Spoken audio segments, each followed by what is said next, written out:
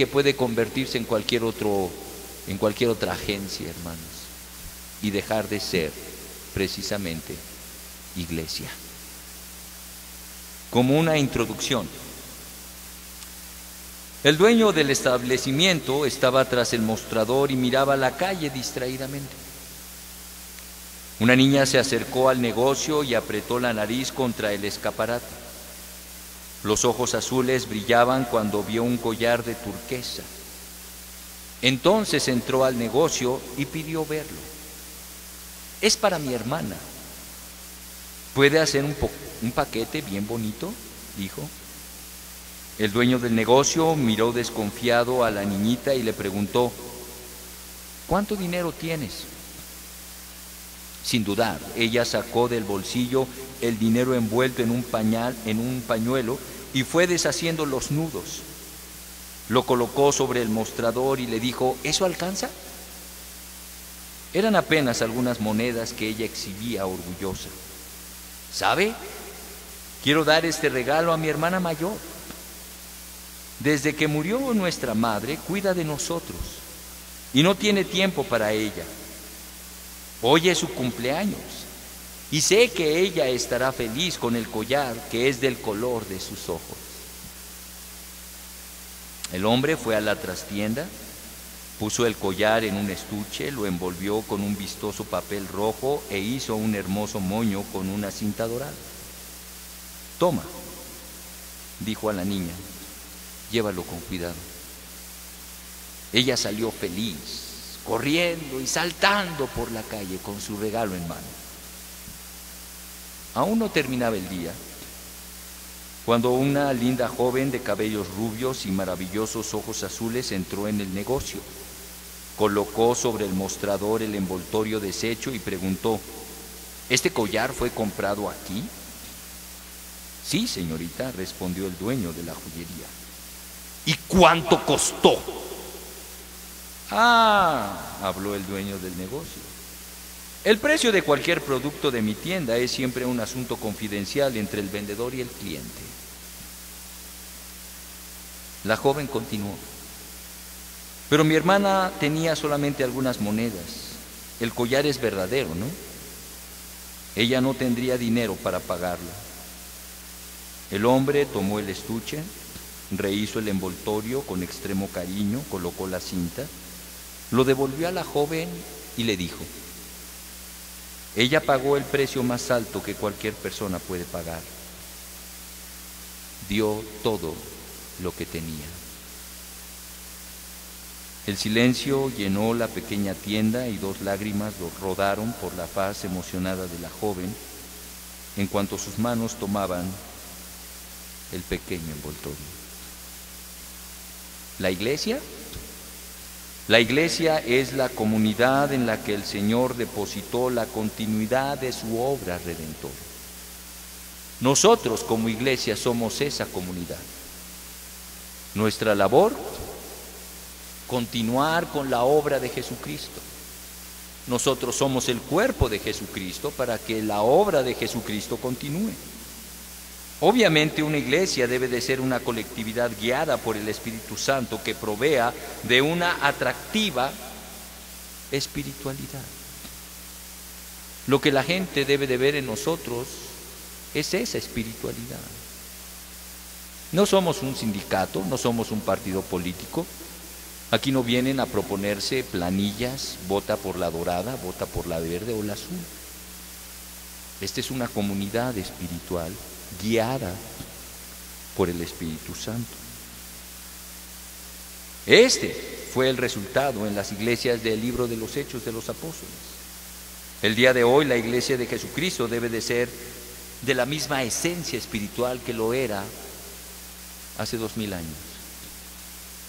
Si bien tal vez los modelos, los métodos han cambiado, Obviamente los tiempos y la situación histórica, social y política ha cambiado, pero lo que no puede cambiar es la esencia espiritual de la iglesia. Una iglesia debe de ser eso, una comunidad espiritual, guiada por Santo Espíritu de Dios, para cumplir el propósito de continuar la obra de Jesucristo. Si esto es así, ¿qué efectos produce la espiritualidad en la iglesia? ¿Cómo se manifiesta esta espiritualidad? Bueno, vamos a ver en el marco de este pasaje que hemos leído, Hechos capítulo 4, versos 32 al, 33, al 37, tres manifestaciones de esta espiritualidad. tres maneras en las que la espiritualidad de la iglesia se manifiesta. Pero antes de entrar en el detalle de cada una de ellas, déjame decirte algo. La espiritualidad de la iglesia nunca va a ser mayor que la espiritualidad de sus propios miembros. Hay personas que dentro de la iglesia y dentro de nuestra propia iglesia se quejan de que hay carnalidad, de que hay mundanalidad, de que hay pecado. Y cuando hacemos eso, creo que de quien estamos hablando es de nosotros mismos. Y yo digo, bueno, valdría la pena que quien lo está diciendo se examinase a sí mismo para ver por dónde anda la cosa. Porque yo no puedo ser más espiritual que mi propia iglesia. Porque la espiritualidad de esta iglesia depende de la colectividad, de la espiritualidad de quienes, de los que aquí estamos. Y si tú te quejas, hermano, de mundanalidad, de pecado, de carnalidad, de tibieza espiritual en esta iglesia, lo primero que debes de analizar con toda honestidad es tu propia vida porque cada uno de nosotros hablamos y criticamos según nos va en el camino. Pero ¿qué es lo que dice la Biblia? ¿Qué es lo que dice este pasaje que acabamos de ver? En primer lugar, la vida espiritual de la iglesia genera una unidad entre los miembros. Es lo primero que genera. Una vida espiritual genera unidad. No divisiones, no partidismos, no pleitos, no celos, sino genera unidad, que dice ahí en el verso 32, y la multitud de los que habían creído era de un corazón y un alma, y ninguno decía ser suyo propio nada de lo que poseía, sino que tenían todas las cosas en común. La vida espiritual de la iglesia genera una unidad entre sus miembros. Este pasaje es una especie de resumen de la vida comunitaria de la iglesia de los primeros días del cristianismo y destaca sus cualidades fraternales. La unidad que había se destaca por medio de dos expresiones. La primera era de un corazón y un alma y la segunda tenían todas las cosas en común.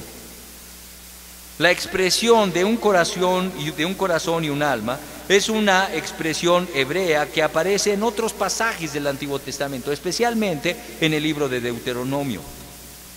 En el libro de Deuteronomio, capítulo 6, verso 5, dice, amarás a Jehová tu Dios con todo tu corazón y con toda tu alma. En 10, 12 dice, servirás a Jehová tu Dios con todo tu corazón y con toda tu alma.